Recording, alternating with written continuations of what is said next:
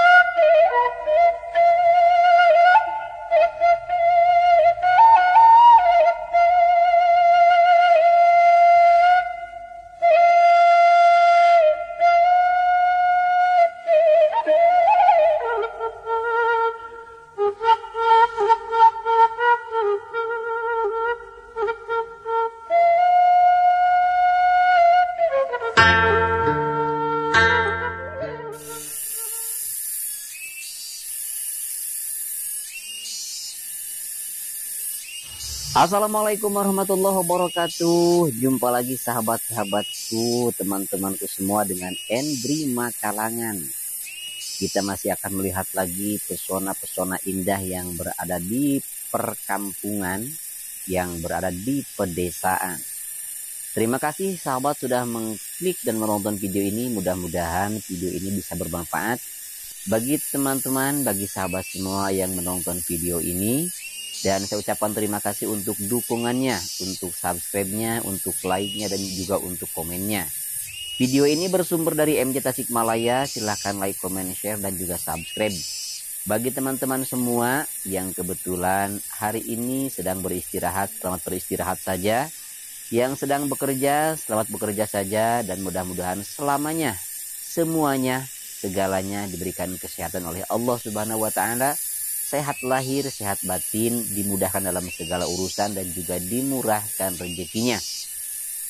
Kalaupun memang sekarang sedang ada yang menderita sakit, penyakit apa pun itu, baik yang sudah lama maupun baru saja jatuh sakit, mudah-mudahan Allah Subhanahu wa taala mencabut penyakitnya diganti dengan kesehatan.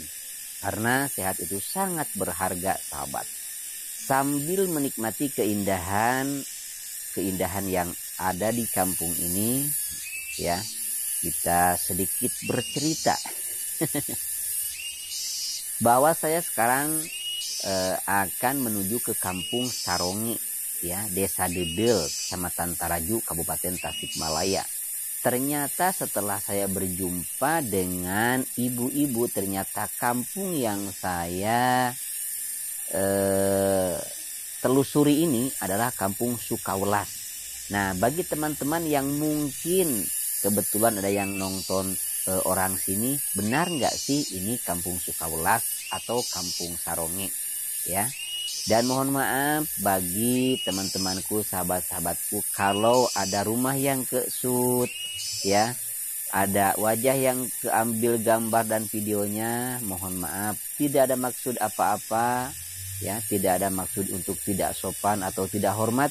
Saya ingin memberikan informasi atau berbagi kondisi dan situasi di perkampungan yang tentu saja banyak sekali yang ingin mengetahui perkampungan-perkampungan yang ada di Tasikmalaya, terutama di daerah Jawa Barat.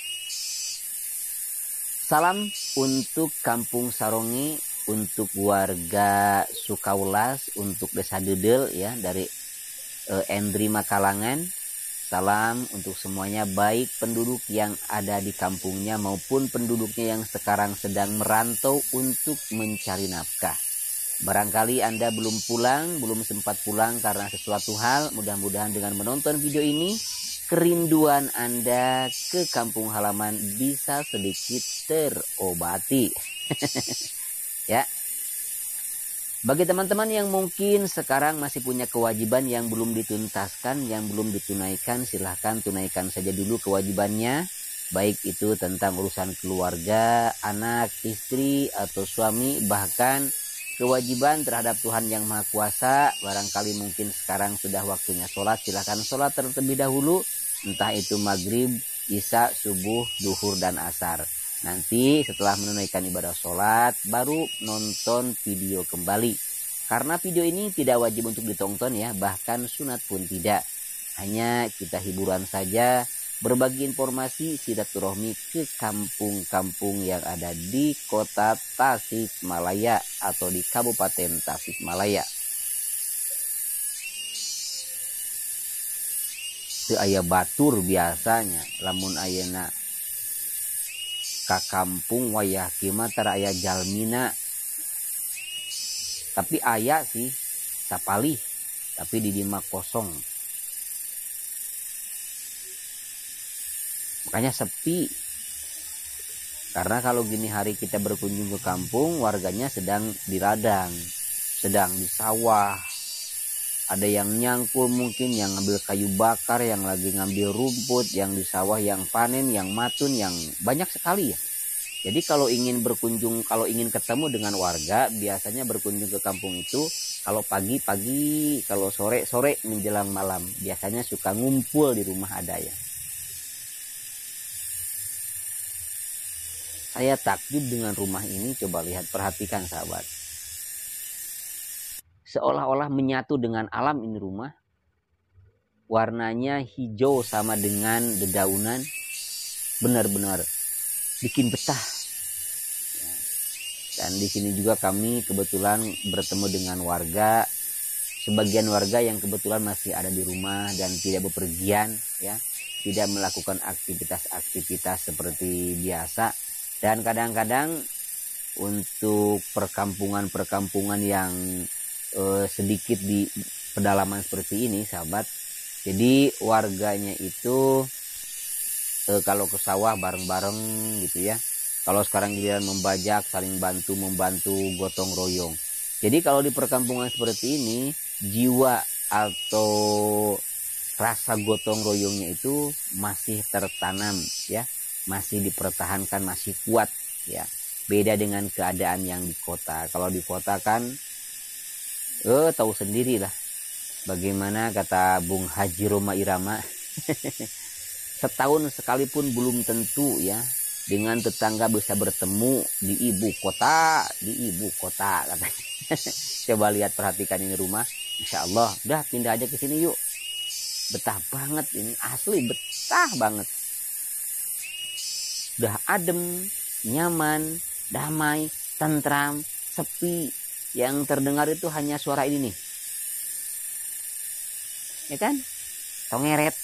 Nah, tongeret. Dan di sini ada irigasi sahabat. Sawah ya irigasi dari sana.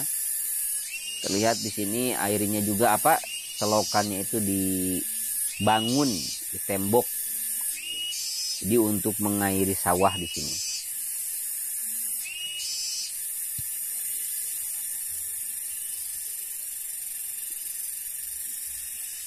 Ini kalau itu ada ada ikannya apa enggak ya di selokan ini?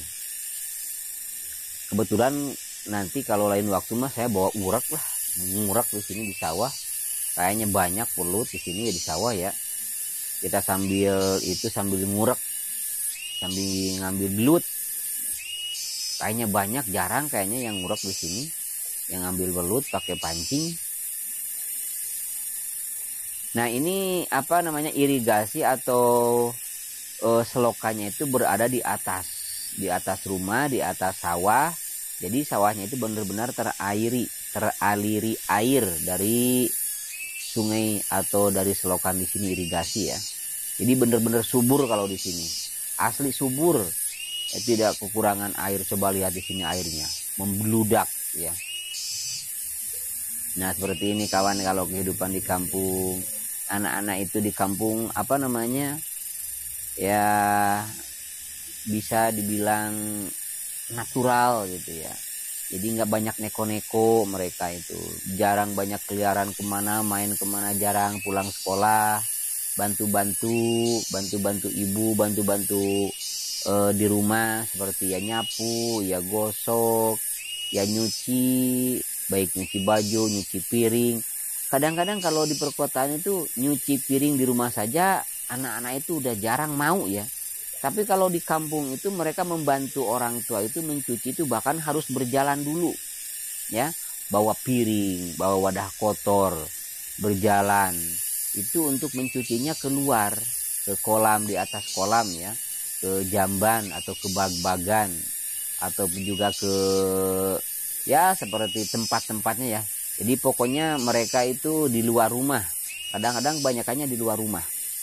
Ya, jadi tidak hidup di kota seperti hidup di kota. Kalau di kota kan sekarang yo dari mulai mandi, BAB dan lain sebagainya, nyuci, nyuci piring, nyuci baju itu dilakukan di rumah karena memang di rumahnya ada kamar mandi, ada WC. Tetapi kalau di perkampungan seperti ini mereka harus keluar dulu, ya. Nah, anak-anak itu udah terbiasa, coba lihat. Ini kan jemur pakaiannya di bahkan di atas kolam gitu. Bahkan di sawah. Ya bikin jemuran sendiri. Berarti dengan demikian mereka itu mencuci bajunya itu di luar. Tapi mereka happy kok. Anak-anak mereka ya rajin-rajin ya. Rajin e, membantu. Jadi kebiasaan-kebiasaan orang tua itu sudah dilakukan sejak dini jadi sudah tertanam bagi mereka itu nanti pas hidup rumah tangga itu punya suami itu sudah tidak asing lagi sudah tidak kaget lagi dengan pekerjaan-pekerjaan seperti itu baik itu mencuci piring, mencuci baju, memasak bahkan ya. Kadang-kadang kalau orang tuanya sedang pergi ke apa namanya ke hutan atau ke sawah dan kebetulan punya anak gadis ya baik itu SMP maupun SMA kalau pulang dari sawah dari ladang itu nasi udah mateng ya udah masak gitu. Nah mereka itu dididik seperti itu ya. Jadi ketika nanti hidup berumah tangga mereka itu sudah tidak asing lagi, tidak kaget lagi dengan eh, pekerjaan-pekerjaan rumah seperti itu karena memang sudah terbiasa secara tidak langsung sudah dididik oleh orang tuanya. Nih, lihat. Ya kan? Nih, anak cowok segede gini itu bawa ketel, bawa katel. Mana ada gitu di Nah, ini coba lihat. Ya. Gadis seperti ini tuh mau cuci piring jauh. Dari rumahnya harus jalan kaki bawa ember. Seperti ini. Asli seperti ini. Kebanyakan mereka itu sekarang anak-anak sekarang itu pada manja-manja. Asli ya. Anak saya aja sama sekarang. Susahnya minta ampun. Ya yang diurusin itu HP aja mulu ya. Ya karena memang sekarang udah dunianya seperti itu main gadget mulu nonton mulu main game mulu.